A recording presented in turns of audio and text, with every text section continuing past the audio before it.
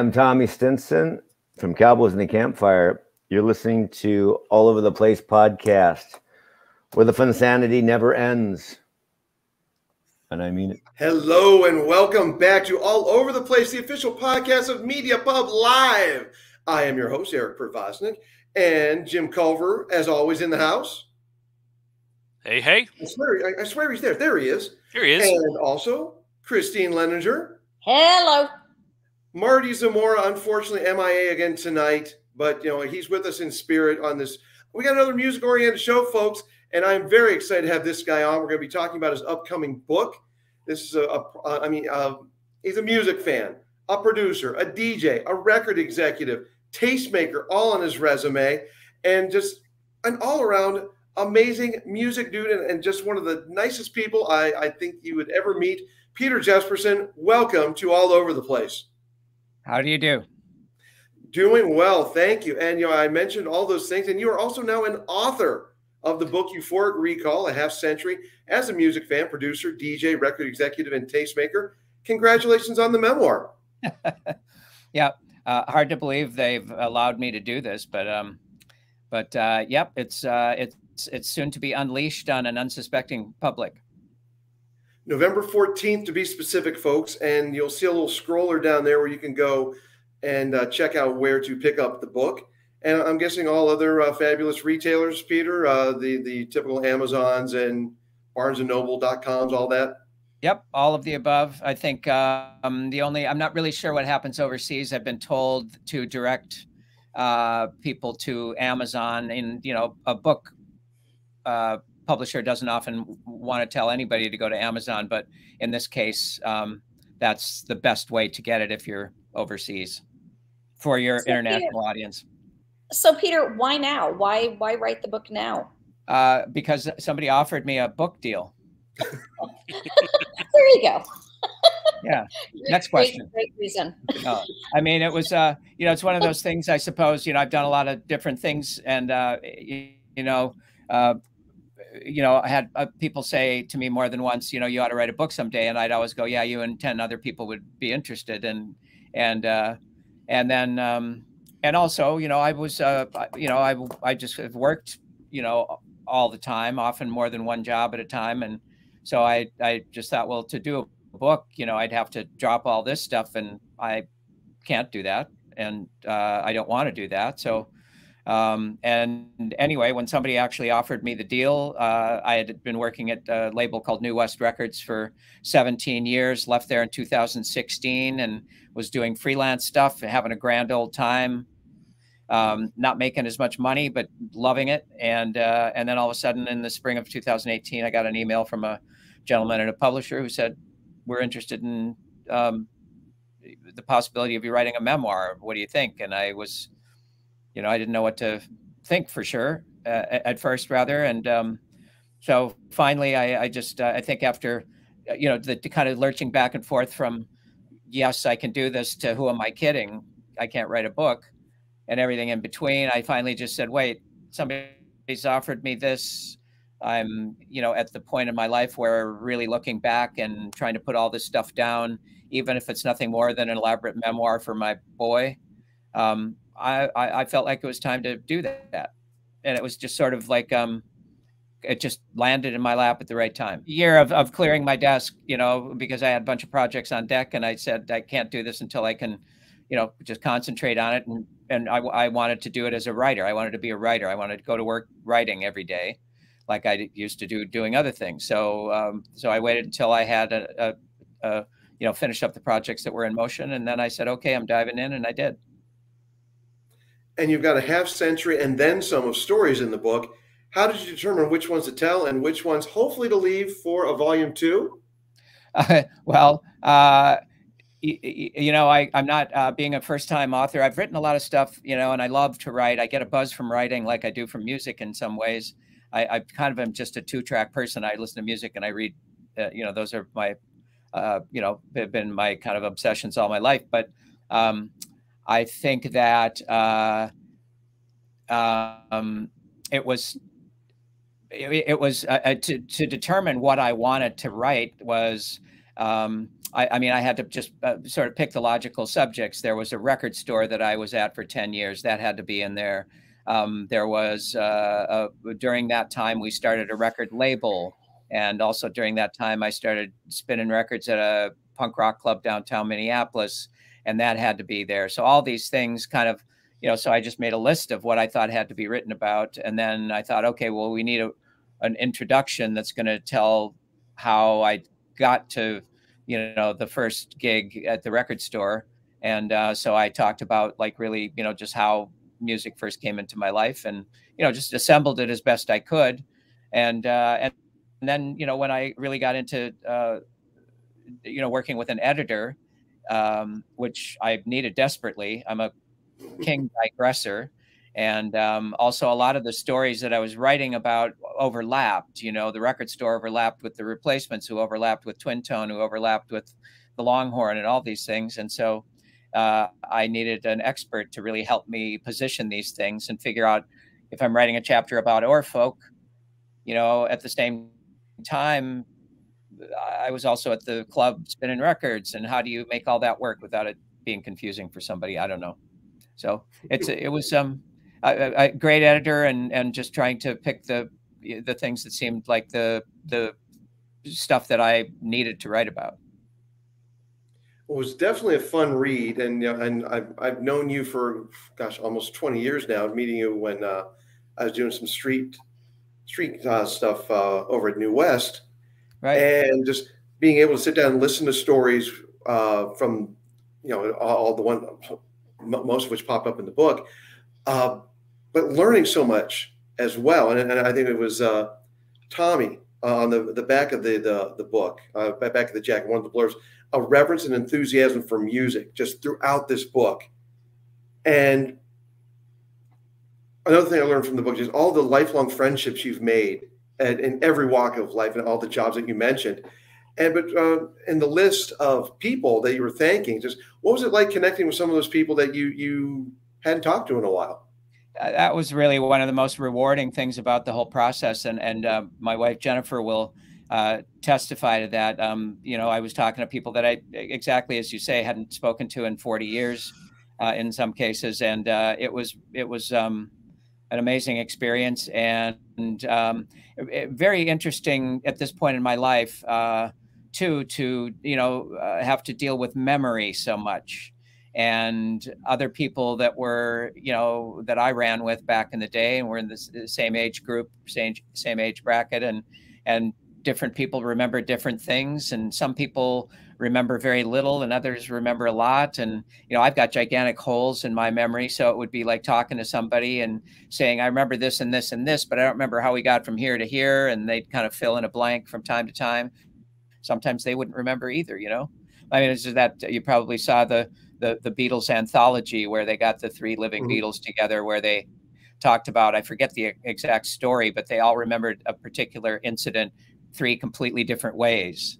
And you know that's that's really it's it's, it's shocking to me how memory works. I remember reading a a, a book uh, when I was a, maybe late teens, um, uh, autobiography by a, a, guy named Alfred Jarry who invented the character Pere Ubu, um, in in French literature, and he uh, and he wrote the whole first chapter of. Um, uh, actually, no, it wasn't Alfred Jarry. It was Louis Buñuel, a filmmaker. But anyway, I'm not telling the story very well. But uh, Louis Buñuel's uh, uh, autobiography, the first chapter is called Memory, and he talks about the age that he was at and losing his memory. And he said a horrifying thing that stuck with me all my life. He said, "Losing your memory is uh, is it makes it as if you never lived at all." And I remember thinking, "Oh my God, what a what a horrible thing that would be.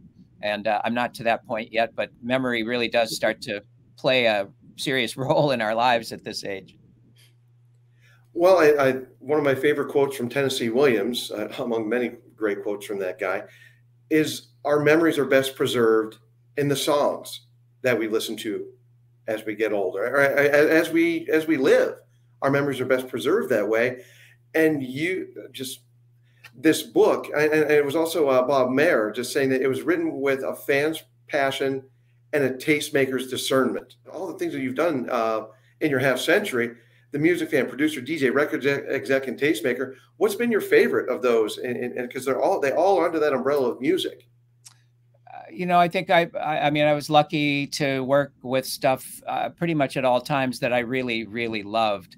But I suppose the thing that maybe I felt I was best at, and maybe the thing that I liked the most was the record store. I mean, that was 10 years. And I mean, you know, you often think, God, that was a great time. And I didn't really realize at the time how great it was. I mean, at that whole period of the record store, it was like I just knew this was, you know, a, a period of my life that I was never going to forget and that I was going to, you know, um, you know, I was going to be happy that I had experienced for the rest of my life.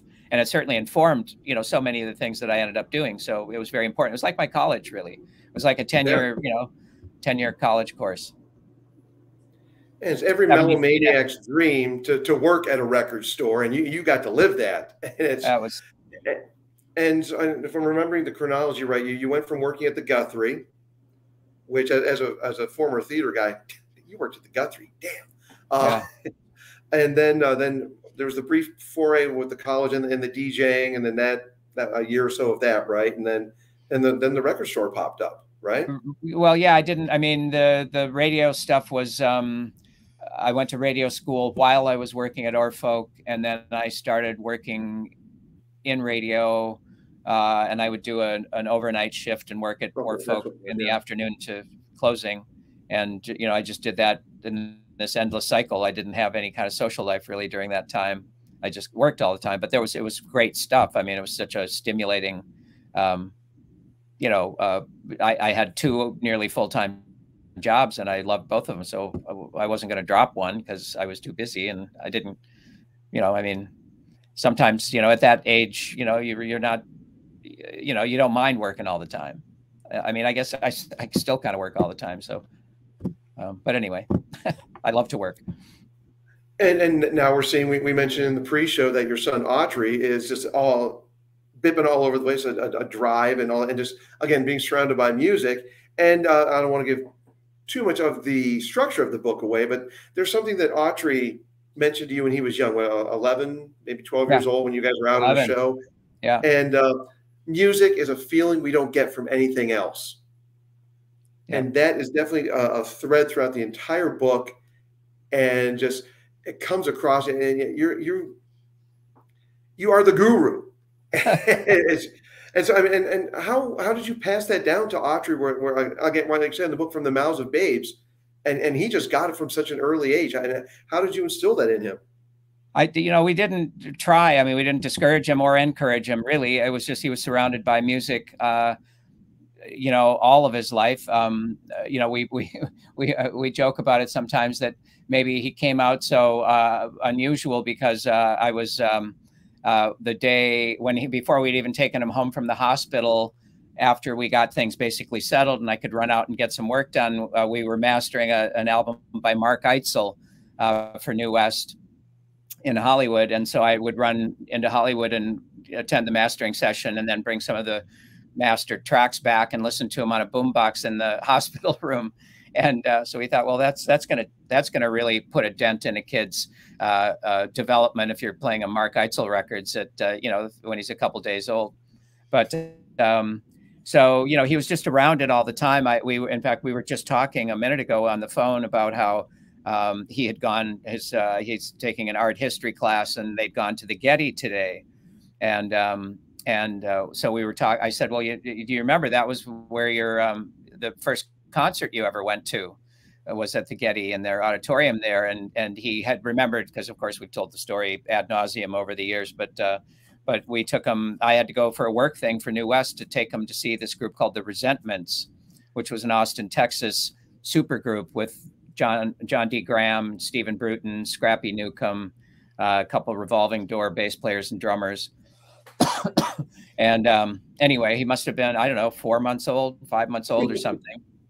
So that was his first concert and uh, and and I, one of the funny things about that is Stephen Bruton, who was a key uh, person in my life, and and certainly for New West Records, he was the um, he was the uh, second, third artist signed to New West uh, before I even got there. Um, but anyway, Stephen uh, had known that I had just uh, my wife and I had had a kid, and he said, "When you get to the when you get to the Getty before we go on stage, I know you probably can't stay for the whole show, but he said, give me a buzz backstage, and I'll come out and find you."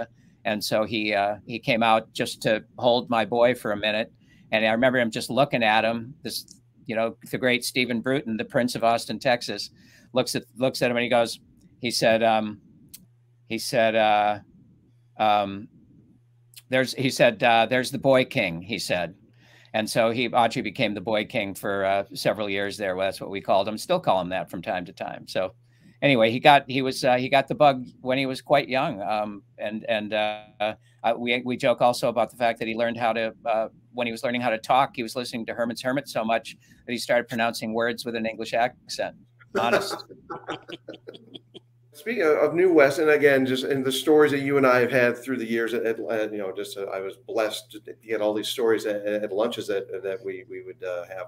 But I, I, I got a kick out of the fact that uh, you know when you live in LA, and you see all these people at Bruton and all these people at, at New West and beyond, and uh, you're actually starstruck by Kris Kristofferson. I love that oh story in the book. Well, I mean, I don't, you know, I wasn't, and I wasn't even somebody like, uh, you know, had my wife been there and he'd walked in the room, she would have fainted, you know, from she, you know, I never saw the film A Star Is Born, for instance. Um, but um, you know, I, I I was such a fan of his, and and we sold so many of his records uh, at Oar Folk in the early days um, when he was making his first records for Monument, um, and and um, you, you know, I mean, it really was kind of a, a astounding how often we sold those records. I knew the catalog numbers by heart because we sold them so often, and uh, you know they were six-digit Columbia records. Um, it was Millennium uh, Monument was part of uh, Columbia at the time, and uh, so anyway, they had they had long numbers, and I had them memorized. But anyway, um, um, it was uh, I, he. I, I, remember sitting in a conference room, and Cameron Strang, the owner of New West, is on my left, and Don Was who was going to produce the uh, Kristofferson record for us, was on my right and we were waiting for Kris and all of a sudden we are in conversation, and suddenly I hear this voice saying, "Hello, fellows or something like that, and I just heard the voice, and I just, you know, it was like gave me chills, and uh, and all of a sudden he he walks around into my view, and he's wearing, you know, beat up jeans and a denim T-shirt, and he's got his hair kind of a, a skew, and uh, handsome as the day is long, beat up cowboy boots, and and we're introduced, and um, uh, Don, of course, had met him before, and I think Cam and I were both meeting him for the first time then. And and uh, and after I was introduced to him, I said, uh, "Kris, I got to thank you for helping to pay the rent at our record store. We sold so many of your records there back in 1970, 71." And, or in the early 70s, and uh, he just laughed and he said, uh, "Happy to be happy to be of help there, Peter." And it was uh, it was a great moment. I'll never forget again so many stories and i mentioned earlier about you know there maybe being a volume two but anyone who follows you on social media knows that you are still out there. I, I, am amazed uh, all these bands that you you you are constantly seeing. Sometimes with Autry, sometimes I mean just going out there. Just what keeps you going to in, in discovering new music, and how do you keep discovering new music? I mean, I, you know, it's just what I do and what I've always done. I'm just, I, I can't live without it. I, I, uh, um, you know, Autry and I were at a show last night. We went to see Dope Lemon, this guy from Australia that I, I've been a, a nut for since 2007. Um, and uh, uh, Autry also like like his the, the, the stuff he did originally when I fell in love with his music was kind of a folk rock thing, and now he's doing I don't even know what you'd call it. It's sort of groove stoner music. Um, but anyway, called yeah, Dope Lemon, and it was really a fantastic show at a new room downtown here called the Bellwether. Um, so it's fun. You know, I wanted to see the Bellwether. Wilco had just played a couple nights uh, stand there over the weekend, and people were raving about what a great new room it was. And I thought, here's my opportunity. I don't know. I just I love live music. There's just it's. Um, I mean, I like you know record. I mean, I, I when I'm at home, I listen to recorded music. I go out and see live music. I just music is you know all day long is fine with me. So, Peter, what is your favorite venue? Where's the best best place to see a show?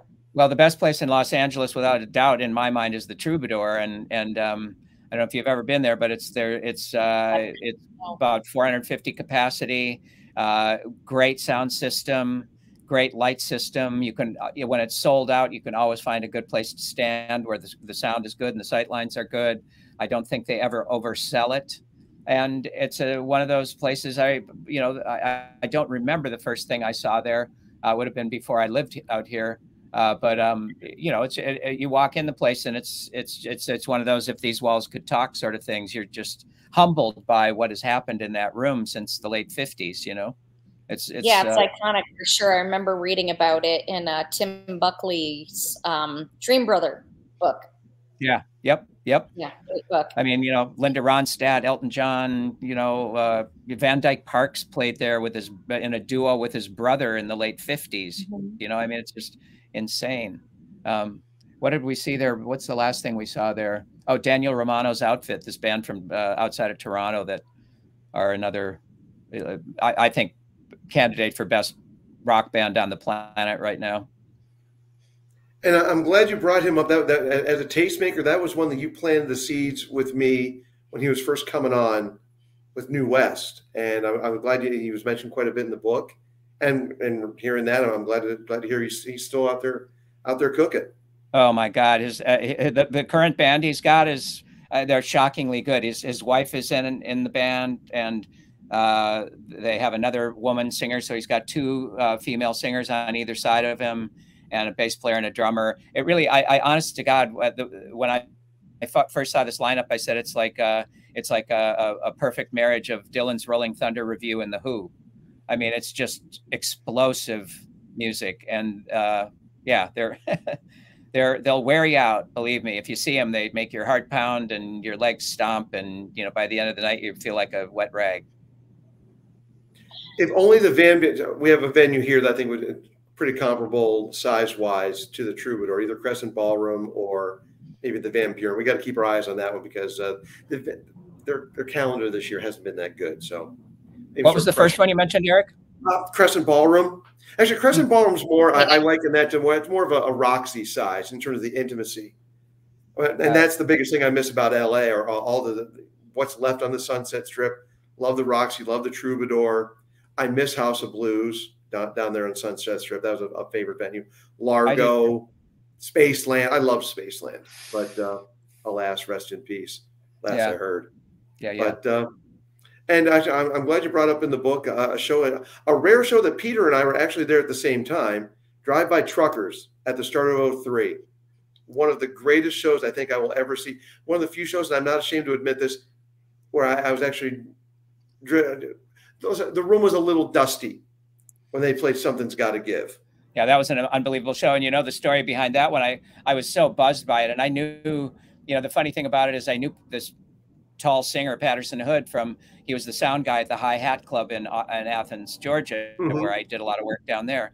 And um, so I knew him, you know, as a sound man before I knew even he was in a band. And um, so anyway, uh, I went to see the show and they just blew the roof off the joint, as, as you were saying. And the next day I marched into Cameron's office and I started raving about the show I'd seen the night before in this great band, the Drive By Truckers. And he said, well, interestingly enough, they had a deal with Lost Highway that's coming apart and we have an opportunity to sign them. And I was just on the phone with their manager, and I was like, "What? Synchronicity? Kismet. Yeah, Kismet is right. Got to do a whole bunch of records with those guys. Some of their best, I think. Dirty South. I, I. Decoration Day, Dirty South, and Blessing and a Curse. I, I put that up against any triple album from a, a, anybody, three in a row. Sure. Absolutely and it, when you know Jason Isbell in the band, they had three writers and three singers that were you know just all class A. And uh, this lovely lady, to to I guess she's to my right on this. We were actually able to uh, we music music brought us together, and I'll, I'll let her gush uh, in a little bit on that one if she, if she wants. We already to. thanked Tommy for getting oh, us together. that's right. Yes, uh, but. Uh, we were able to go. Uh, uh, the first time we went to to Red Rocks was for a Jason Isbell show earlier this year. So we if you're going to do your first show at Red Rocks, it's got to be monumental. So. Yeah. And that, was yeah, just recently, right? That, that was. Um, it was in um, April, May. May, May, it was May, yeah. It was yeah. the beginning of May. We got to see them our first uh, foray into the Red Rocks. But um, yeah. since we since Eric so wonderfully brought it up, we'll Put share on the spot he and I met at a Tears for Fears concert last year, and we bonded over our mutual love of the Replacements and um, Paul Westerberg. All so right. he said that he said that when I turned to him and I said, "I love Paul Westerberg and the Replacements," he went, "Bing!" right, and that was that. yep. And and here we are now, so it's all good. Yes. Oh, yeah. yep. So, um, speaking of that, of course, you're well known for having, you know, been a big part in the replacement success, discovering and managing them for the years. And of course, you know, you talk about your son who, you know, at such a young age expressed his love for music. And gosh, of all things, Tommy was what, 12 when he started?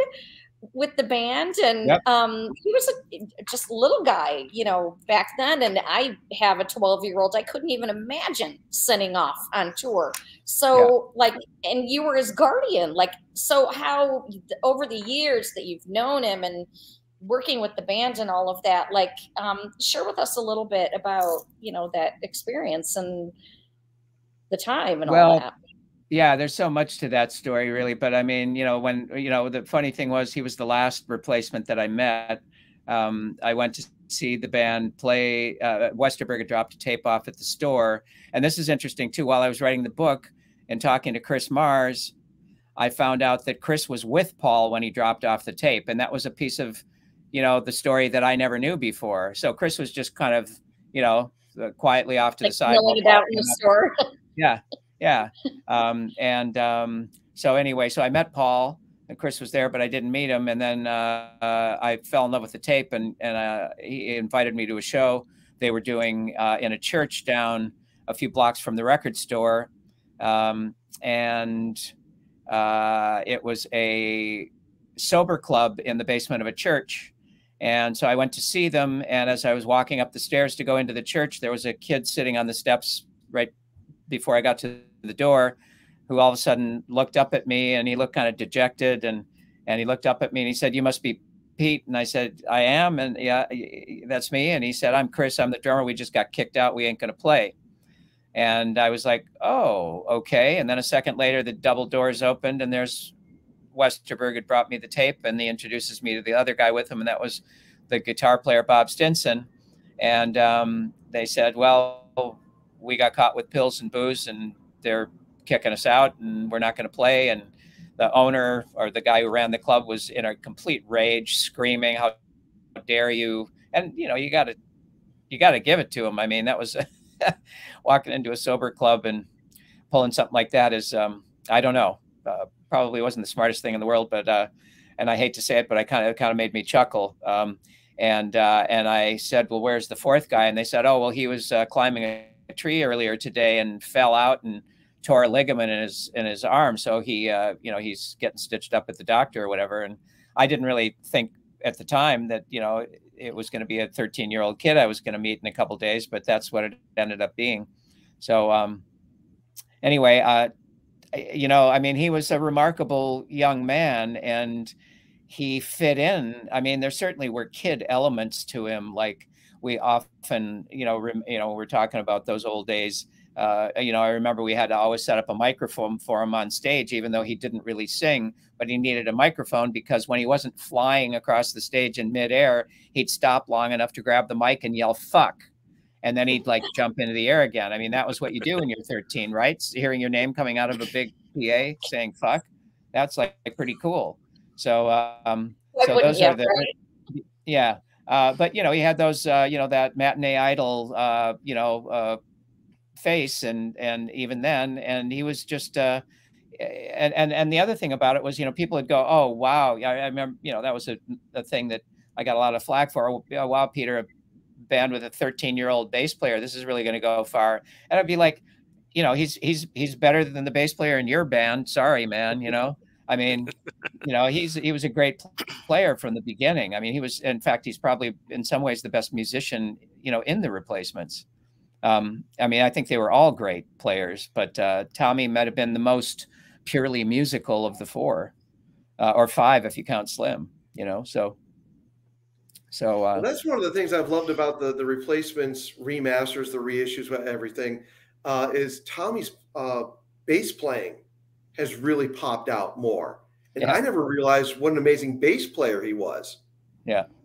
and it was fun because one of the shows I, I, saw him at the Largo, I think it was, uh, and he was playing guitar that night, and he's like, uh, "Yeah, I'm just. Please bear in mind, I'm usually a bass player, yeah, and just that's the way he played his guitar. So it's uh, and and with, with the reissues, and, and you of course have been in the, involved in the liner notes going back with all the Rhino reissues as well. But well, what's been your take on uh, the better or the better or the different sound as it was with Dead Dead Man's Pop or on now with the Let Bleed edition of of uh, Tim? I think they've all been just so um, spectacularly well curated. I mean, you know, you got Jason Jones at Rhino, who's the head of A and R there. Um, great guy, smart guy, real record guy. Uh, Bob Mehr, who you know obviously has done, you know, he knows more about the replacements probably than anybody else with the amount of research and and you know time he spent, you know, putting that story together for Trouble Boys. I mean, it was I think a remarkable feat. Um, and um, and then I've been involved in some cases. I'm consulting in some cases. I'm co-producing, but uh, I think that the um, you know the, the work has been really great and i think it's shown a light on some aspects of the replacements that um, other people maybe didn't see close up. Um, and uh, i think you know i, I mean uh, the the live at maxwell's i guess was the first real big one and i think that's a wonderful project. I mean i remember you know when it was recorded there at maxwell's in hoboken you know it was really hard to you know the replacements when they knew they were being recorded played differently than when they didn't know they were being recorded or when they weren't being recorded. And um, so you know we had a big mobile truck. Warner brothers had brought a truck out there and run cables in and out of the this great music room that we'd played you know the band had played a hundred times. And um, one of the best another one of the best uh, christine to your uh, question earlier about best rock clubs um, you know Troubadour in L.A., Maxwell's in in you know the whole you know greater New York area. Uh, unbelievable club and one of the best I've ever been in. Um, so anyway, the thing that's interesting to me about that is, um, they, even though they were touring on the Tim album at that time, I think the best performances are songs from uh, Sorry Ma and Stink. Um, you know, just for whatever reason that night they were really playing those well and um, uh, and I think that also Bob was already a little bit on the brink of you know being out of the band and was not always rising to the occasion and so I don't think that's as great a show. Um, I, mean, I think that it did. It was nice to have a really good recording of the replacements live, but I, I think that it's not quite as good as they really were. And I think, like for instance, the live version, the live show we put in the Sorry Ma box set in 2021 is a much better show and much more uh, emblematic or much more representative of what they really sounded like at that time. Um, you know, in the early days. Um, so you know, anyway, I think that they've all really well done. I, you know, Don't Tell a Soul, as I, I always say, is, is, is to me the eighth best replacements record. Um, I, I, think that there's some songs on there that don't uh, that didn't stand the test of time. I didn't think they were good to, to, begin with, and they certainly haven't stood the test of time. But I do think that the remix made it. Um, uh, you know, the the Chris Lord-Alge mixing that record back in 1988. Uh, you know, I, I I mean I know they were trying to do the best for that record. I think Lenny Waronker, actually one of the great, you know, A&R guys of all time in the record business, I think might have had something to do with, you know, uh, uh, quite a bit to do with that album. And and I'm not sure who made the decision or who decided to bring Chris Lord-Alge in, but I thought that that just made that record uh, sound ridiculous. And um, and I love the fact that they got to go back to kind of what Matt Wallace, you know, would have done had he been allowed to mix it, because Matt Wallace is a very very good producer who really got the replacements and had a rapport with Westerberg like very few other uh, producers ever did. Um, so I think that turned out well. But you know, you can't. Um, what is it? What's the line about? You can't. Uh, you can't shine a pig or whatever. I mean, it's like hard to, um, you know, make a, a bunch of song. You know, a group of songs that aren't strong all together. You know, lipstick on a pig. Lipstick on a pig. Lipstick on a pig. There you go.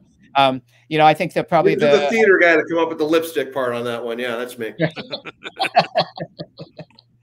but uh, but I mean, I think they're all good in their own way. I, I think um, you know the the Pleased to Meet Me one was fascinating to listen to. I think um, um, you know the, the the new mix of of Tim is uh, to, I call it a correction. It really sounds like what it should have sounded like to begin with.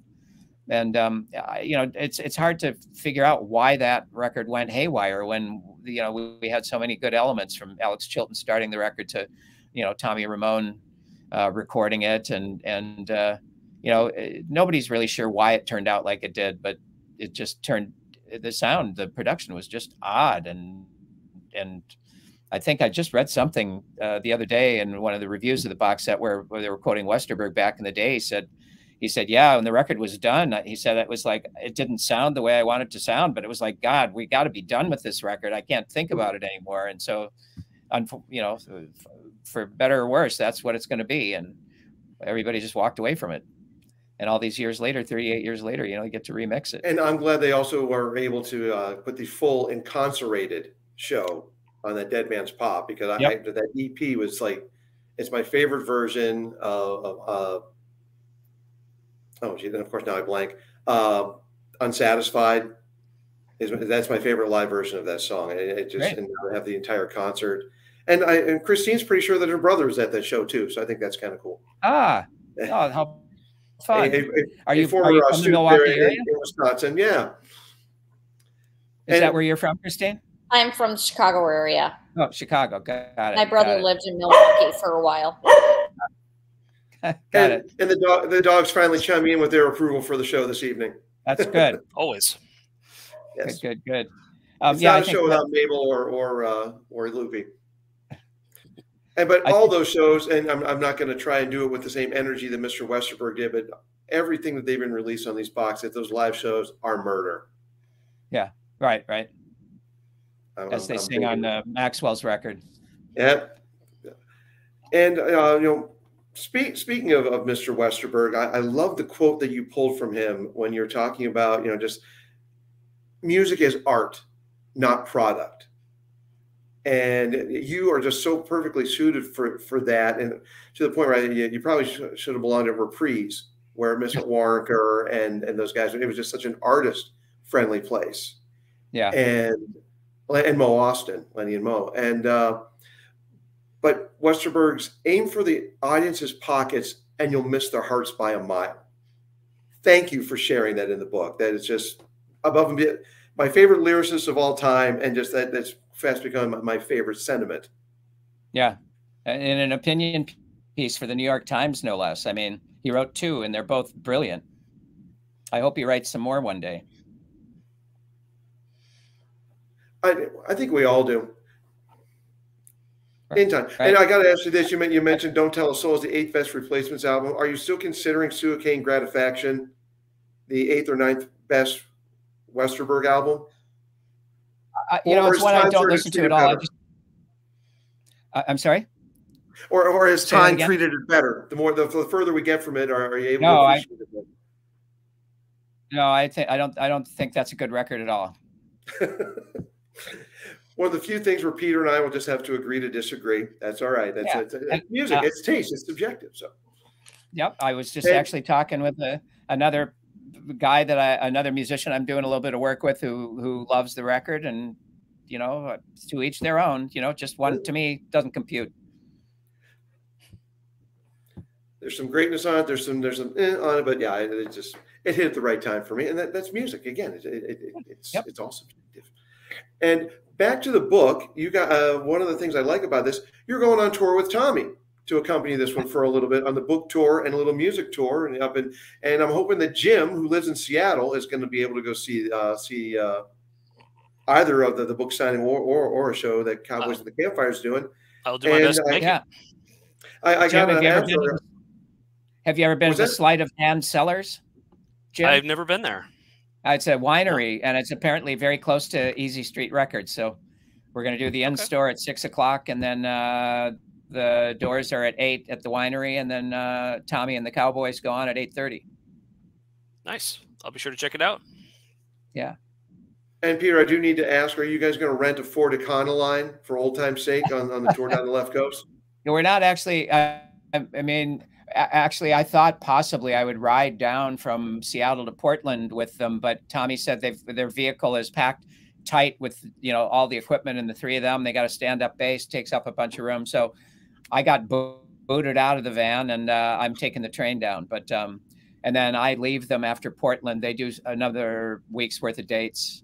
I go to Minneapolis, and then I meet Tommy in. Uh, I guess I'm going to meet him in New York in December for three more of these uh, book things.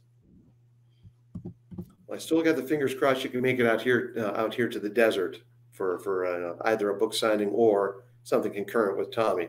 I, yeah, I, I would love to. I'd love to do more of them. I mean, I guess we'll see how these go. You know, we haven't done one yet, so maybe they'll suck and we won't want to do more. But uh, we're gonna do yeah, uh, less than uh, just about two weeks. What is it? Today's Tuesday.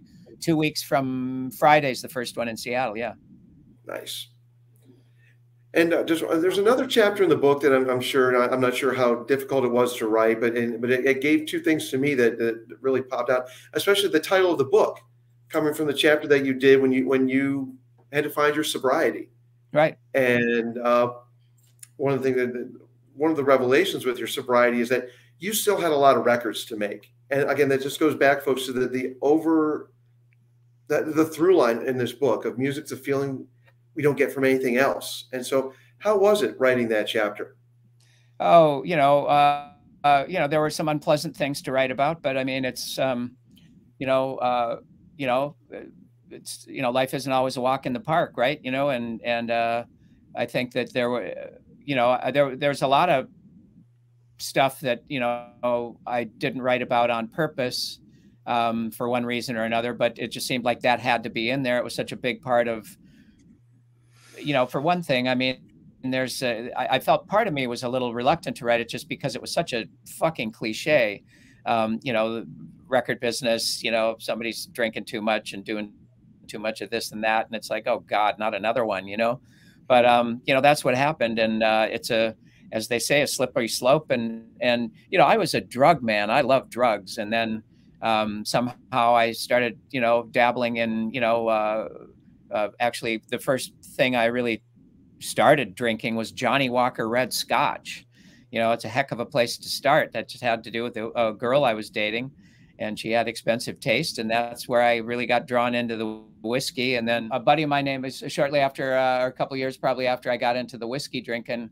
A friend of mine. Um, uh, I, I, remember coming into the CC Club kitty corner from the record store after a, hot, a bike ride on a hot day, and I was going to have a Johnnie Walker Red on the Rocks, and the, my buddy Tim Carr said, um, uh, "Peter," he said, "you got to have the you, you got to have a beer, an ice cold." beer is what you drink on a hot day like this. And he said to the bartender, he said, "Give Peter the cold, uh, coldest beer you you know the the beer that's the coldest and the coldest uh, refrigeration unit you got, and, and I'm buying it." And uh, he handed me the beer, and I believe it was a grain belt. Um, and I drank it and I said, Hey, this is pretty good. So, you know, I added, you know, beer to my whiskey drinking. And, you know, then I, you know, I had lots of options. And then, uh, you know, I figured, you know, if, if, if you know, some substance was going to get me, it was going to be one of the drugs. And, and all of a sudden one day I turned around and the alcohol had its claws in me. And, and, uh, that was like, holy cow, how did I get here? so it's, um, you know, it's a, it's a weird thing. And uh, I just uh, felt it had to be put down. And I certainly learned my lesson. Um, I'm 32 and a half years since my last cocktail now. And, you know, I don't even think about it. But I mean, I, I, I when I stopped, I just stopped. I never had any kind of issues or temptation or urges or any of that stuff. I didn't, I did a little bit of the uh, AA meetings um, right when I got out because uh, I went through treatment and the people in my that got me well said I ought to go to some AA meetings. And so I went to the bare minimum. Uh, and I was just anxious to get back on, you know, with my work and my life. And so I just haven't needed it. And I understand lots of people do need to go to meetings on a regular basis. And, and I have no problem with that. Obviously, I don't make fun of it or anything. It's just, I just didn't particularly need it myself. And, and, um, uh, yeah, it, it was, uh, and, and it really was, it was a funny thing to, you know, the, another thing that I had such a, a, moment of clarity when I came to in the hospital, and it really was, you know, the first thing was, you know, figuratively wiping my brow, going, I'm I guess I'm alive. I made it. And then number two was I can't die yet. I got a lot of records to make. That was exactly what happened. That was my thought process. And and then I just couldn't wait to get out of that hospital bed and you know get back into the recording studio. Well, I'm glad music ultimately is your drug of choice. And again, all those records to make and still still out there and, and gifting us with, with again the tastemaker. And I, I purposely, you know, in reading the book, I, I, I knew that the Beatles and Stones were big with you. I knew Bowie, and was reminded that uh, Dylan is kind of your Mount Rushmore, your your big four out of everything. Who are uh, in, who's your 21st century, or what's going on now that that uh, as as a tastemaker, who are, are, are four that you would uh, want to recommend to our listeners? Well, Daniel Romano's outfit, I, as I said before, um, uh, an astonishing artist who can do so many different things. It's just breathtaking. Um, when I first met him, he came. Uh, he was signed to New West by uh, one of our A and R guys, and uh, I was very skeptical at first. He was doing straight country music at the time, and it was a little shticky to me. He did an album called "Come Cry with Me." And um, it had a little bit of the kind of cornball country stuff going on in some ways, but the songs were so clever um, that I I, I I I I didn't write it off, but I just I just kind of I was concerned. And on the cover, he had a cowboy hat on and kind of a nudie suit type of thing. And I thought, wait a minute, this do you really need that if you're a real country guy? Do you need to you know play this you know the the the wardrobe to the hilt? Um, so I was a little skeptical, but then um, he started making a, a follow up record, which was also country, but much more serious. It was called uh, "If I've Only One Time Askin'," is the title and it's a um, uh, if you ever get a chance to listen to the song, the story of the song is uh, stunning, and I think that uh, I don't want to give away the the the, the story because it's it's when you realize what he's writing about, it's it's really something that I think would stop you in your tracks. Um, beautifully written. Anyway, those those uh, demos, I heard the tracks as he was, you know, working on that record, and I started to get sucked in, and then I saw him do a performance at South by Southwest where it was one of those revelatory moments where like the I'm with you know a hundred people around me, and suddenly the crowd disappears, and I'm the only one there, and it's just me and the band, and you know I was just like I lost my mind, and uh, and I've just been a nutty fan of his ever since. They've actually recorded right here in the back room. They've actually they, they stay here when they come through town. I've had them all set up here uh, in the back room and recording. It's a blast. Live music, except no substitutes. That's well, yeah. Uh, so anyway, Daniel Romano's outfit. See, there I go digressing again. I'm going to try to not do this so much. So, but they're beautiful digressions. Well, uh, Daniel Romano's outfit. The, I think my favorite band right at the moment is a, an LA band called Gold Star. Um, I there were uh, uh, it's, it's a the short version of the story is I started hearing their music as early as 2009 when the kid was in his teens and he's in his late 20s now, early 30s possibly. And um, I lost track of him for a while when I wasn't doing A&R at New West for a couple of years, and then after leaving New West. And the funny thing about it was, it was his mother was sending me his music. She was a publicist here in LA, um, and and uh, she's from Vienna. He was born in Vienna but raised in LA, and um, and she had been sending me the music. And uh, he started out as uh, God. When I first met him, it was the Sister Ruby Band then it was uh, CG, Roxanne, and the Nightmares, and then it became Gold Star, and then I lost track of him.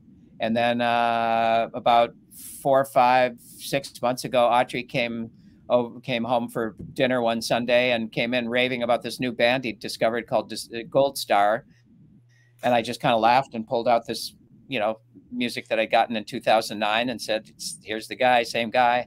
And I said, "You mean?" he's still playing. I thought he disappeared, maybe gave up music or whatever. But anyway, he's just been under the radar, under my radar anyway. And he started playing shows around LA again, and it's one of the best bands I've seen in a long, long time. I, I would I would lay down in the highway for him. If I was at a record label, I would beg the powers that be to sign them. I think he's he's got uh, vast, vast potential. Um, four albums uh, uh, under the name Gold Star, and um, and a new one done and ready to go. And uh, and he's already written some new songs. Uh, I saw him a couple of weeks ago, and, and he closed the show with a total punked out version of uh, uh, "This Is the Sea" by the Waterboys. And I just thought this is just sheer genius. I mean, it was just it just blew my mind. See, we, we could have used that on our last show where we were talking about our favorite covers that are deconstructed versions of the originals. Yeah, well, there you go.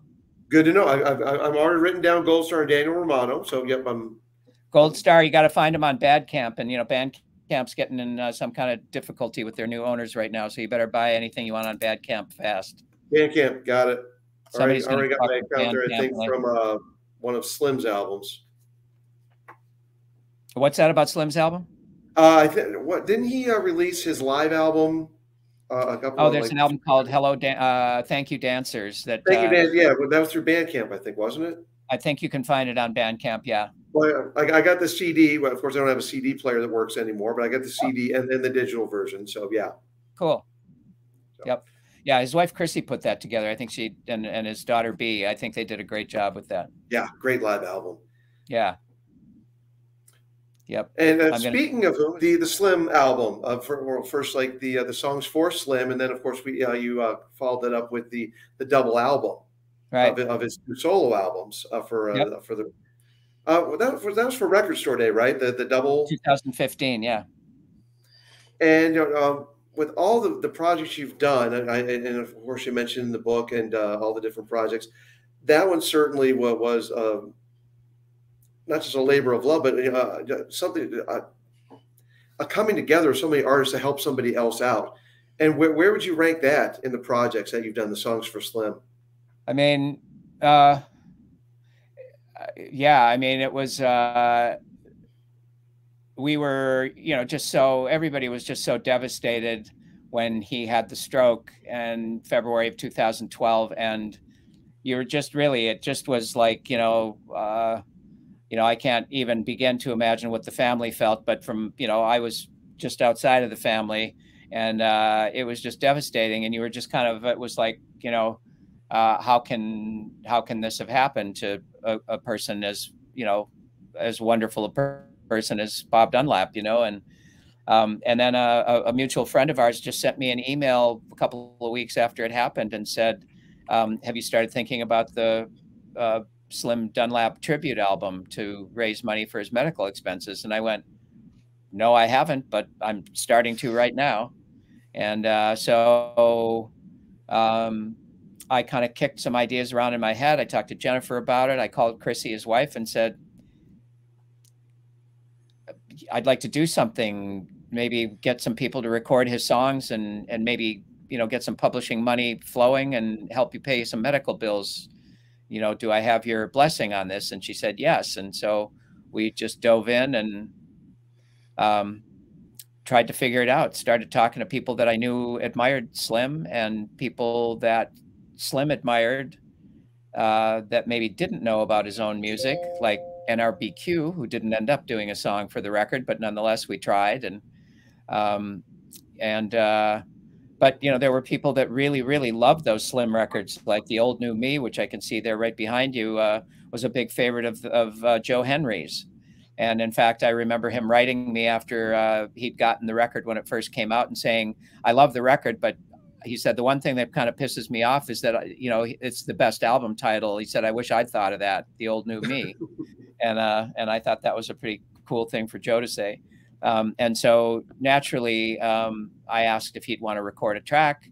And Joe is such a, a, a, a, a gadabout producer in some ways, doing all those different projects with the likes of Sal, you know Solomon Burke and Allen Toussaint and and all these people. Um, uh, that I thought, you know, hey, anybody that you work with that maybe we could get to do a slim song. So, you know, he produced several tracks, uh, three or four, he did Lucinda Williams, Steve Earle, uh, his own, uh, and Jakob Dylan. Yeah, I think there were four, and we did them all at a studio right here in North Hollywood.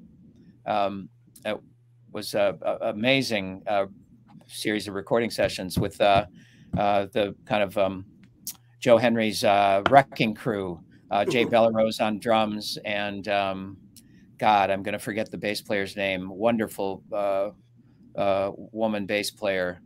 Um, but anyway, uh, just uh, and, oh, and um, uh, uh, I don't know if anybody remembers the Man from Uncle uh, TV show, but Illya Kuryakin, his uh, his he was the father of this kid who ended up coming in and playing guitar on the songs for Slim Sessions. Um, Val, God, why am I forgetting his name now? Val McCallum, of course, Ian McCallum's son. So, so that was pretty cool.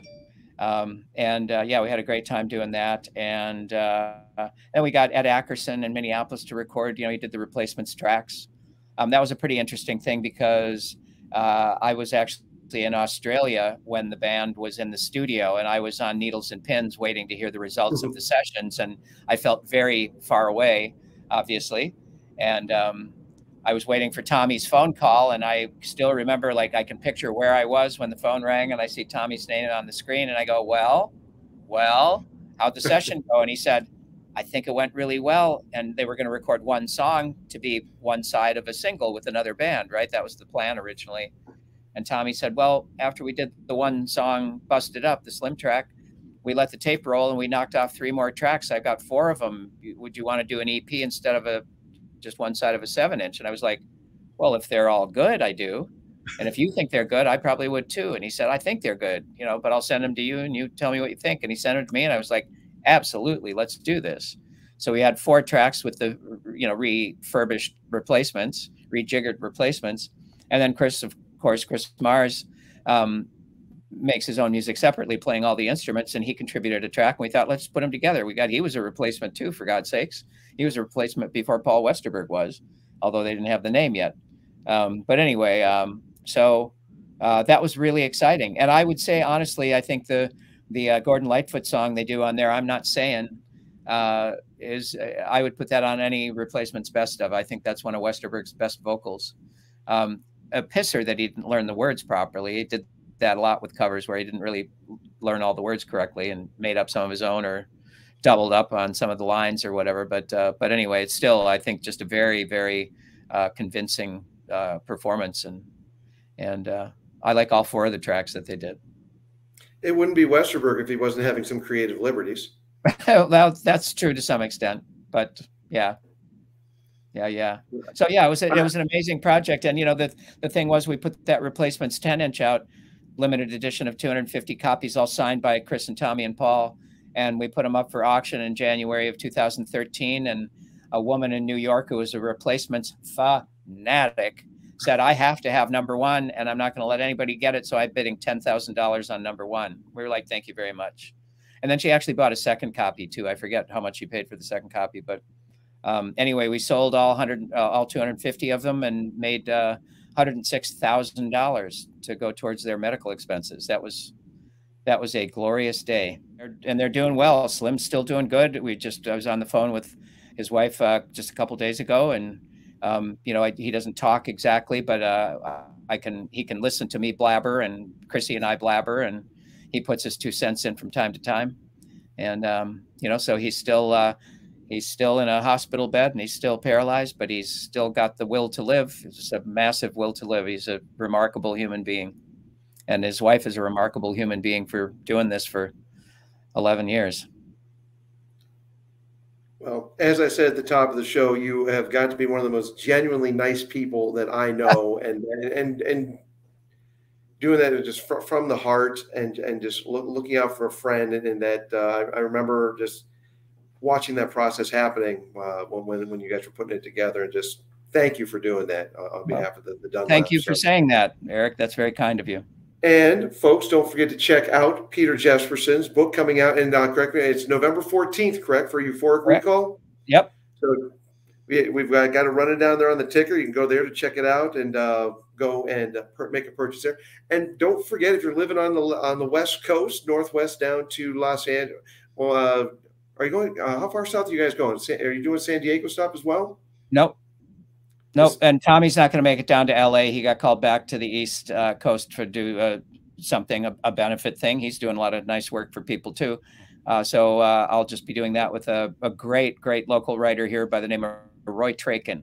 Writes for Variety and uh, God, who else? He writes for a number of publications. He's really a good writer. He used to be at the Hollywood Report, or not at uh, the Album Network, and uh, longtime music guy out here in LA and great writer and great person.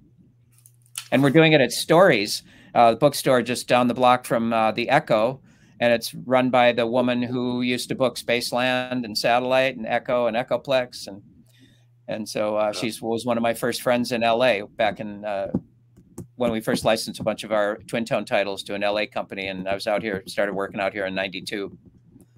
So the great Liz Garo. More, more, venue memories from from my time in LA. Good good times indeed with music. And, and Peter, thank you for being a, uh, the the tastemaker that you are. When in the the brief time that we knew each other in my in my Southern California days, and just the, the man has put music in not just my life, all of our lives, and cannot thank you enough for that. Just being the music fan, the producer, the DJ, the record exec, and tastemaker. And again, folks, now an author of the book Euphoric Recall check that out and look for Peter on uh, any book signings there on on the left coast, the west coast. Check it out, Peter. Thank, thank you. you. again for joining us here on All Over the Place. Can't thank you enough.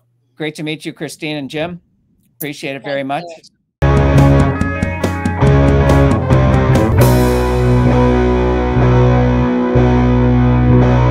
All over the place, where the fun sanity never ends.